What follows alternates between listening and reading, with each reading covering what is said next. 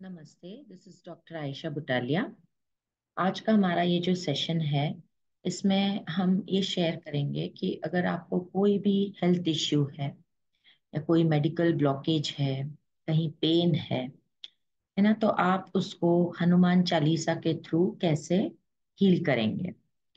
हम सबको हनुमान चालीसा के बारे में पता है, उसके बेनिफिट्स के बारे में पता है। तो एक ऑलरेडी वीडियो बनाया है जिसमें हनुमान चालीसा का इम्पोर्टेंस और uh, उसके लिरिक्स उसके बारे में उसके अर्थ उसका मीनिंग वो सब डिटेल में समझाया गया है। हमने कोविड ऑलरेडी देखा है कोरोना और उस समय बहुत सारे लोगों की जो डेथ हुई है या हमने उनको खोया है वो कोरोना या वो वायरस से कम और भय से ज़्यादा खोया है उन लोगों को, क्योंकि उन लोगों को वो जो फियर था कि हमें कुछ हो ना जाए, वो ज़्यादा चीज़ अटैक हो गई थी। हम हमेशा कहते हैं कि बीमारी तो ठीक है, शरीर में आती है, लेकिन पहले वो मन को अटैक करती है। अगर वो मन में काफ़ी देर तक रही तो वो शरीर पे दिखने लग जाती है। अगर हम अपने मन को स्ट्रांग रखें तो वो शारीरिक बीमारी पे हम संयम कर सकते हैं। और ये हमने कोरोना के टाइम पे जिन लोगों ने, जिनकी इम्यूनिटी अच्छी थी, उनको कोरोना ने नहीं छुआ। जिनकी इम्यूनिटी मीडियम थी, उनको छूने के बाद वो रिकवर हो गए और जिनकी इम्यूनिटी लो थी और उनमें वो भय था। क्योंकि इम्यूनिटी लो होना से भी हमारे बॉडी में ताकत कम है तो भय बढ़ जाता है। इसीलिए मन की शक्ति जो है, ये बहुत बड़ा बल प्रदान करती है। किसी भी फ़िज़िकल एलिमेंट हेल्थ इश्यू को भी सॉल्व करने के लिए। तो हनुमान चालीसा तो है ही फ़ेमस इसलिए कि प्रोटेक्शन है ना? प्रोटेक्शन के लिए, भय निकालने के लिए स्ट्रेंथ देने के लिए क्योंकि भक्ति ही शक्ति है। और हनुमान जी से बड़ा भक्त तो हमने नहीं सुना है। तो इसीलिए इस हनुमान चालीसा को देखते हुए हम, हमारे मेडिकल इश्यूज़ के ब्लॉकेजेस को हील करने की ये छोटी पर सरल पर बहुत ही इफ़ेक्टिव विधि में आपके साथ शेयर तो आपको क्या करना है कि एक तांबे का लोटा या कटोरी या ग्लास कोई भी जग, कोई भी यूटेंसिल आप ले लीजिए, है ना? एक चम्मच उसमें पानी भरिए अच्छा ताज़ा और एक चम्मच ले लीजिए। आपको हनुमान चालीसा का पाठ पढ़ना है और पाठ पढ़ते पढ़ते आपको वो पानी बीच बीच में चम्मच से हिलाना है। आपका पाठ पढ़ने के बाद आपको वो पानी पीना है। अगर सपोज़ आपने ग्लास भर किया है तो आधा पानी आप पी लीजिए।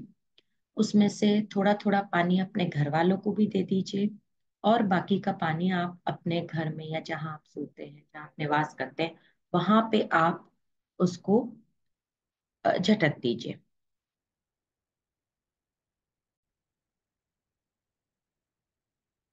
बाकी लोगों को इसलिए पिलाना है क्योंकि कई बार जब हमें कोई एलिमेंट होता है तो उसकी नेगेटिविटी फैलती है तो इसीलिए उनको भी उसका बेनिफिट दीजिए। अगर वो वायरस है यहाँ, वहाँ पे या कोई नेगेटिविटी है या कोई वहाँ पे ब्लॉकेजेस है उस वास्तु में तो वो भी उस पानी के स्प्रिंकल से वो भी क्लियर हो जाते हैं। अब प्रश्न ये उठता है कि हनुमान चालीसा कितने बार पाठ करना है? बेस्ट है कि आप सात बार पाठ कीजिए कंटिन्यूस और वो पानी को हिलाते जाइए और उसका पावर जो है वो काफ़ी अच्छा बनेगा। आ, अगर आप नौ तक जा सकते हैं बहुत अच्छी बात है क्योंकि हनुमान जी मंगल ग्रह को रिप्रेजेंट करते हैं और नौ नंबर भी मंगल को रिप्रेजेंट करता है। अगर आप नौ से सात और सात से फिर आप तीन पे आ सकते हैं क्योंकि तीन गुरु का नंबर है और आप एक पे भी आ सकते हैं। अब ऐसा कुछ नहीं है कि आपने दो बार पढ़ लिया या पाँच बार पढ़ लिया तो कुछ अशुभ हो जाएगा, ऐसी बात नहीं। ये जो नंबर्स है, ये एक हमें एक काउंटिंग देती है कि हाँ वहाँ तक हमें हमें बल प्रदान करती है, वहाँ तक हमें अचीव करने के लिए। जैसे हम कोई रेस में पार्ट लेते हैं तो five kilometre three kilometre ten kilometre ये हमारे एक बॉडी को एक चैलेंज देता है है ना? तो अपना तो वो पानी का पावर उतना ज़्यादा बढ़ते जाएगा। तो इसीलिए, लेकिन आप एक से भी शुरू कर सकते हैं और आप तीन पे भी आप उसको ये कर सकते हैं। ऐसा कुछ नहीं है। लेकिन अभी किसी ने बोला कि 108 बार तो उतनी करने की ज़रूरत नहीं है। Nine is the maximum you can do it है ना? आप एक से शुरुआत कीजिए। आप तीन तक करिए। कोई बात नहीं। आप सात तक पहुँचे और मैक्सिमम नौ तक करिए। ऐसा कुछ भी नहीं है कि अगर आपने तांबे का लोटा नहीं लिया, आप स्टील का भी ले सकते हैं। ऐसी कोई बात नहीं है। लेकिन जो ये अपना तांबे का जो धातु है, उसके अपने कुछ प्रॉपर्टीज़ होते हैं और वो हनुमान चालीसा की फ्रीक्वेंसी को मैच करते हैं, क्योंकि वो भी मंगल ग्रह को प्रदान करता है। एक्चुअली जो हर कोई मंत्र चांटिंग है, वो एक फ्रीक्वेंसी पे बनाया गया है ऋषि मुनियों ने वो उस टाइम पे साधना करके जो इनके इंट्यूशंस पावर बढ़ जाते थे तो उस वजह से उन्होंने जो वो मंत्र लिखे हैं तो वो जो फ्रीक्वेंसी पे आज भी अगर हम उसे चेक करते हैं थ्रू और स्कैनिंग तो वो प्रॉपर उसी प्लैनेट के फ्रीक्वेंसी पे आती है। और मंगल ग्रह आपके मणिपुर चक्र का रिप्रेजेंटेशन है तो आपका मणिपुर चक्र उससे बैलेंस होता है। और अगर आप चक्रास के हिसाब से जाए तो फियर भी जो है ना, वो भी आपके उसके आजू बाजू चक्र से रिलेटेड होता है तो वो उसको बल प्रदान होता है।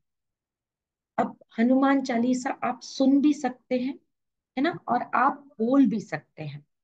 तो जो जब हम, मैंने ऑलरेडी एक वीडियो बनाया है कि मंत्र चैंटिंग का एक्चुअली साइंटिफिक बेनिफिट ऐसे होता है कि जिस तरीके से वो फ्रीक्वेंसी से मंत्र बनाया जाता है बोलते वक्त हमारी जो टंग रोटेट होती है, उस फ्रीक्वेंसी पे वो डायरेक्टली उस चक्र को जाके एक्टिवेट करती है और बैलेंस करती है। इसीलिए हर चक्र के भी अलग अलग मंत्र हैं, है ना? जैसे कि मूलाधार चक्र के लिए गणपति मंत्र बोला जाता है हर चक्र के लिए कृष्ण जी का मंत्र बोला जाता है। तो ऐसे अलग अलग जो है थ्रोट चक्र के लिए सरस्वती का मंत्र। तो ये सब उस चक्र के वाइब्रेशन और फ्रीक्वेंसी को रिलेट किए हुए मंत्रास हैं तो उन्हें वो एक्टिवेट और बैलेंस करने के लिए होता है। तो आप जब बोलेंगे तो ऑटोमेटिकली वो फ्रीक्वेंसी उस पर्टिकुलर चक्र को वाइब्रेट करेगी। आप सुनेंगे तो भी वो आपके डायरेक्टली आज्ञा चक्र से लेके, जो कि हमारे पूरे चक्रास का कंट्रोलर है, वो प्रॉपरली उस नाड़ी को फ्लो करके उस चक्र तक लेके जाएगी। लेकिन मन में बोलना, इसका इफ़ेक्ट इतना नहीं होगा, क्योंकि मन में बोलने से ना वो फ्रीक्वेंसी टंग से जनरेट होगी, है ना? और जो कि आप उस समय मन में बोलते वक्त वो जो लिसनिंग पावर है, उस समय जो वो मानिए हमारे अज्ञा चक्र को और सहसा चक्र को करती है, वो भी उस तरीके से, वो पूरी तरीके से समेत नहीं हो पाए तो बेस्ट वे इसके आप उच्चारण करें। अगर आपको नहीं तो आप सुने और मन में बोलना वो वाला थोड़ा अवॉइड करें। उससे तो फिर सरल है कि आप सुनिए और फिर नौ बार तो आप आसानी से सुन पाएँगे, अगर आप बोल नहीं, अगर उतना कर सकते हैं। आप ऐसे भी कर सकते हैं कि तीन बार बोलिए।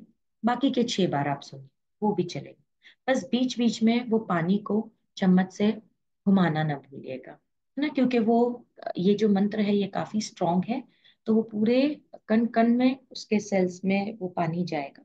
और वैसे भी हमें पता है कि पानी की जो वाइब्रेशन है है ना? वो काफ़ी वर्सटाइल होती है, वो अडेप्टिव होती है।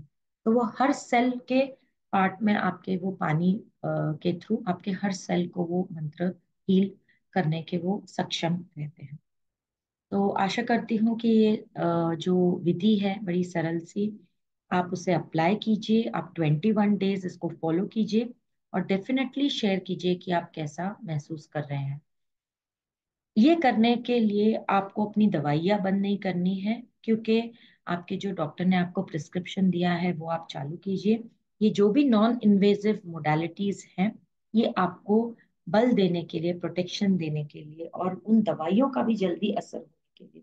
आप वो दवाइयाँ भी वहाँ पे आप बाजू में रख दीजिए तो उसका भी आपको असर जल्दी होने लग जाएगा और इफेक्टिवली होने लग जाएगा और अगर उसके कुछ साइड इफेक्ट्स होंगे तो वो भी कम हो जाएँगे। तो आप अपना फीडबैक हमें ज़रूर शेयर कीजिए और ये छोटी सी विधि से मैं बिल्कुल आशा करती हूँ कि आपके जो भी हेल्थ इश्यूज़ है, उसके ब्लॉकेजेस को वो कम करने में सक्षम हो। Thank you for your patience listening धन्यवाद